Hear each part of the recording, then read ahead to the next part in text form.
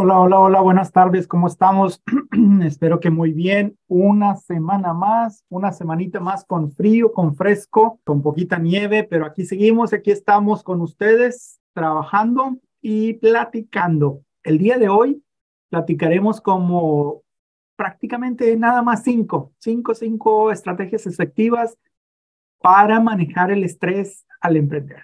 Cuando iniciamos el, el negocio, hay demasiado estrés hay demasiado estrés, hay demasiadas cosas que tenemos en nuestra espalda para poder continuar, para poder seguir adelante.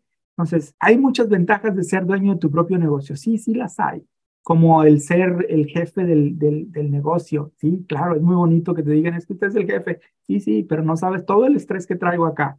Todo el estrés que traigo acá en, en, la, en mi espalda. Este, para poder estar aquí o para poder seguir adelante, para poder planear plan B, plan C, plan D, este, para todo esto. Puedes ver tus propios planes y sueños que forman cuando empiezas, están tomando vida, están tomando sabor y puedes poner la compañía a andar al paso que creas tú necesario prácticamente. Pero la desventaja es administrar ese pequeño negocio, administrar el estrés de ese pequeño negocio es súper, súper, súper difícil, sobre todo cuando iniciamos.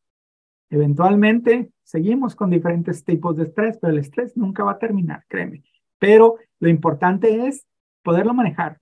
Pregúntate claramente si eres feliz con el camino que has elegido al emprender. O sea, tú, Pedro, tú, José, tú, María, ¿eres feliz con el camino que elegiste al emprender o no lo eres? Sé que parece una pregunta trampa, pero no lo es. No, no, no, no lo es. Quizás estás en el día a día del trabajo, llegas a cumplir todo lo que te propusiste, en momentos eres capaz prácticamente de ver el árbol que tienes enfrente, pero a lo mejor no eres capaz de ver todo el bosque que hay detrás. Entonces, cuando no somos capaces de ver todo el bosque que existe detrás, es, es ponerte un, quédate tantito, espérate tantito, es ver qué, qué estamos haciendo, cómo lo estamos haciendo, es el, el entender, ¿soy feliz haciendo lo que estoy haciendo o no lo soy? Es, es el preguntarte todo esto, el, el facturar en, en el negocio, qué tanto estás facturando, qué tanto quieres facturar. ¿Eres feliz prácticamente o no lo eres? El, el ser feliz implica que al siguiente día en la mañana te levantas con ganas para poder seguir adelante y poder llegar al trabajo, poder hacer cosas nuevas, poder implementar cosas nuevas, poder ver la pintura grande, el bosque del que estamos hablando y ver cómo vamos a llegar al último árbol que está al final. Cómo llegar al primer árbol que está al inicio, eso ya lo hicimos, pero cómo llegar al último árbol al final. El, el propósito que te pusiste el reflexionar en tus ideas, en tus experiencias, que son únicas. O sea, cada uno de nosotros vivimos experiencias únicas. Cada uno de nosotros tenemos nuestras experiencias. Cada uno de nosotros tenemos nuestras memorias, buenas, malas, horribles, etcétera, etcétera, etcétera. Pero de una manera personal, ¿cómo te estás viendo tú a ti mismo? Es poner las cartas sobre la mesa y preguntarte a ti mismo, neta, o sea, ¿soy feliz? No lo soy. ¿Qué está pasando? ¿Me da flojera? ¿Qué está pasando? ¿Me dan ganas de seguirme levantando temprano para poder seguir adelante? Esa pregunta tienes que hacértela.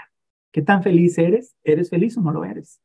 Y, y contestarte honestamente. Porque si no eres feliz al elegir lo que estás haciendo, es tiempo de ponerte en el plan B, plan C, plan D.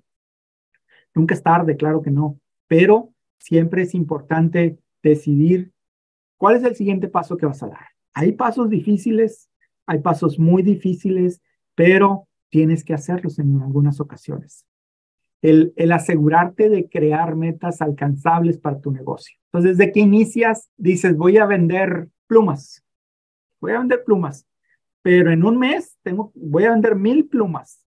Entonces, esa es tu meta, vender mil plumas en un mes. ¿Y qué tal si no las vendes? Tal si en un mes nada más vendiste 100 plumas, ¿te vas a desanimar o qué va a pasar? Entonces, en lugar de, de desanimarte, y cuando va al día 20, casi casi llegando al día 30, que no has vendido más que 100 plumas, entonces probablemente sea un poco más difícil lograr vender 900 plumas en 10 días que en 30 días, pero si ya vas en el día 20 y solamente has vendido 100 plumas y no has vendido las miles, entonces es plan de, es tiempo de decidir qué quieres hacer. Extender la fecha de meta para decir, no, ok, vendí 100, terminamos el mes con 100 vendidas, nada más, el 10% de las mil plumas que necesitas vender o que te pusiste la meta vender. Entonces, el siguiente mes ponte la meta de vender 200 o 300, no la meta de vender las siguientes 900. Entonces, el primer mes lograste vender 100, siguiente mes, ok, voy a vender 200, voy a dobletear o voy a triplicar. Puedes ponerte la meta de triplicar, pero ya tú sabes qué tanto tiempo le invertiste el primer mes, entonces el siguiente mes, ¿qué quieres hacer? Triplicar. Hay que invertirle más tiempo, hay que invertirle, ponerle más dedicación y hay que saber cómo llegarle al cliente para poder vender esas 300 plumas adicionales. Entonces, en dos meses ya llevas 400. Entonces, la meta inicial que dijiste, en un mes voy a vender 1000, entonces probablemente te va a tomar tres meses.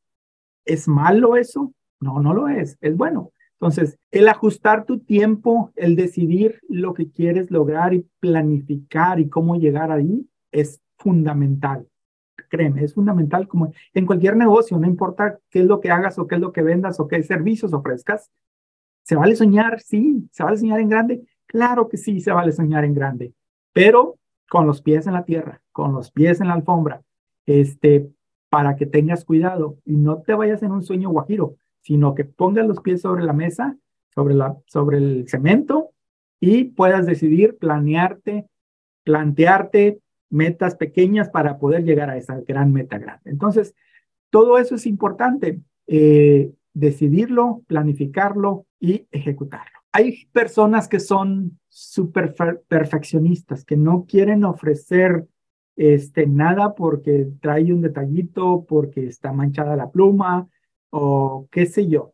Entonces, ¿qué significa? ¿Qué significa el ser demasiado perfeccionista? ¿Vale la pena ser demasiado perfeccionista? Quizás sí, pero también vale la pena este, ser un poquito menos perfeccionista y ajustarte un poquito más a las metas y tener el control de tu negocio. Mantener el perfeccionismo bajo control es lo que puedes realizar y es lo que quizás probablemente te mantenga mejor que querer ser perfeccionista al 100%. Una persona perfeccionista no es mala, claro que no, es buenísima, pero muchas veces le va a tomar más tiempo poder llegar a cierta meta. ¿Por qué? Porque todo quiere que sea perfecto y al, y al ser perfecto nos toma más tiempo, nos, toca, nos toma más dedicación.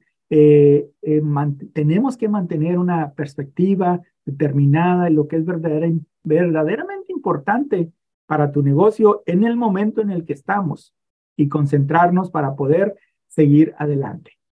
O sea, no me malinterpretes, perfeccionismo es excelente, es bueno, nada más que te va, te va a llevar un poquito más de tiempo si quieres ser perfeccionista al 100% en tu negocio, porque quieres que todo esté al mil, no al 100. Entonces, hay que ponernos las metas y ponernos las metas sobre los pies en el cemento o sobre los pies en la tierra para poder lograr eso. La organización, la productividad son las claves para reducir el estrés en el trabajo.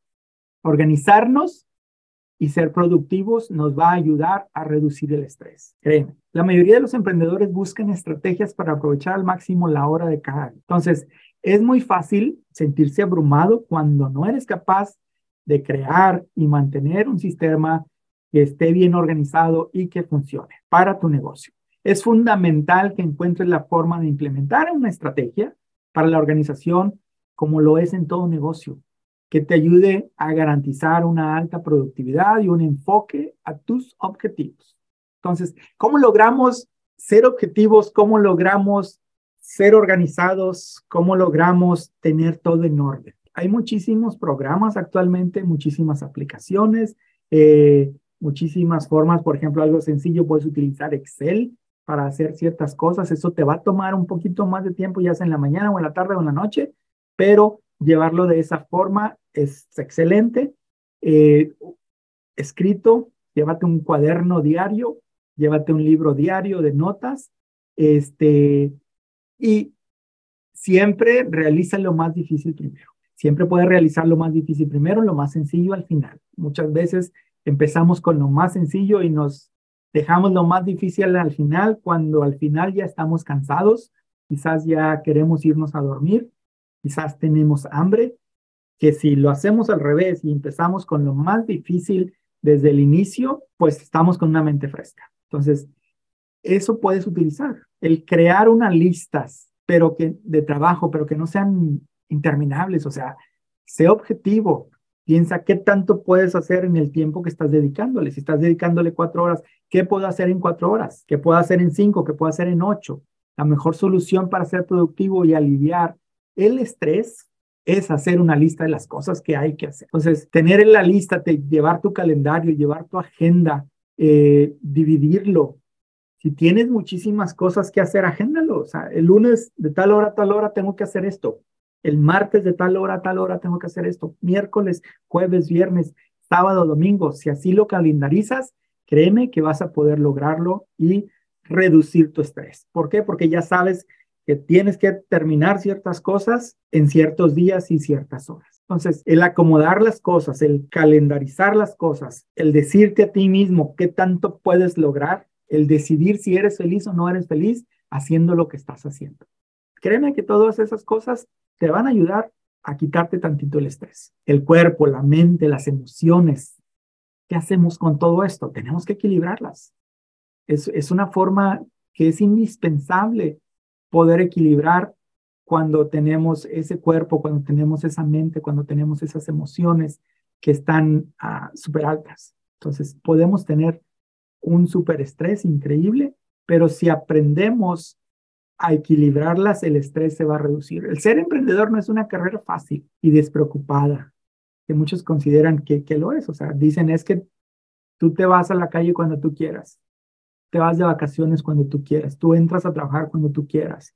No, realmente no lo es. es el ser emprendedor tienes, dependiendo qué servicio, qué producto ofrezcas, tienes mil, tienes dos mil, tienes tres mil eh, patrones, tres mil jefes para poder estar bien. Entonces, es súper estresante el inicio, sí, es súper importante poder lograr, poder caracterizar, poder organizar, poder agendar todas las cosas que tengamos que hacer, sí, es súper, súper, súper importante. Si eres de los que están trabajando demasiadas horas con poco tiempo de descanso y no estás alimentando bien a tu cuerpo, la comida que comemos en la calle, este, comida rápida, es, eso no nos ayuda en nada. Entonces, tienes que aprender a que si vas a trabajar 10 horas, 10 horas al día o 12 o 8, aprovechalas lo más posible.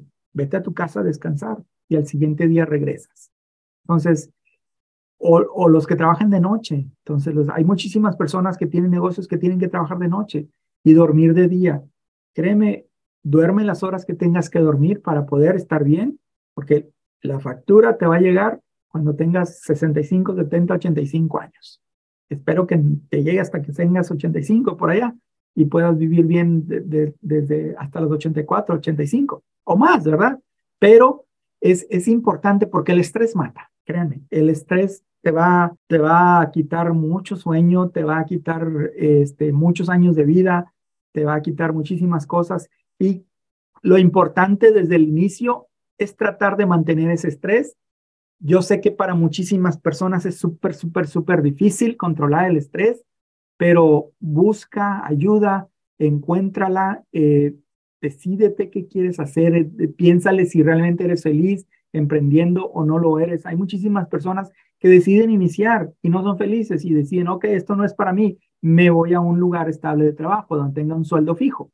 Entonces, ¿está bien eso? Sí, claro que sí está bien, porque aquí lo que queremos ver es que reduzcas ese estrés de una u otra manera y acomodes las cosas en tu trabajo, en tu negocio, para que puedas seguir adelante y puedas avanzar. Entonces, esas cinco estrategias platicamos el día de hoy. Espero que les hayan servido.